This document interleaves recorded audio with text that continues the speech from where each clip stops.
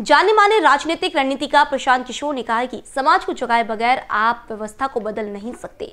विदर्भ का रास्ता भी समाज से होकर ही जाता है। अगर यहाँ की ढाई करोड़ लोग कुछ चाहे और वह नहीं हो पाए, ऐसा नहीं हो सकता। इसे एक तय समय सीमा पर किया जा सकता है। वे चिटनवी सेंटर में संपूर्ण विदर्भ से आए विदर्भवादी संगठनों के प्रतिनिधियों, वकीलों, डॉक्टरों, बुद्धिजीवी वर्ग से उनकी बात सुनने के बाद बोल रहे थे। उन्होंने कहा कि मुझे पहले उन लोगों को समझना है जो विदर्भ को समझते हैं। आप लोगों को सुनकर फिर उसे एक साचे में ढालना है।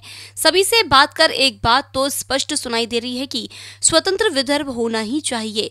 क्यों होना चाहिए? इसके सभी के अपने तर्क व विचार हैं। कैसे होना चाहिए? इसे लेकर संभ्रम व आशंका है।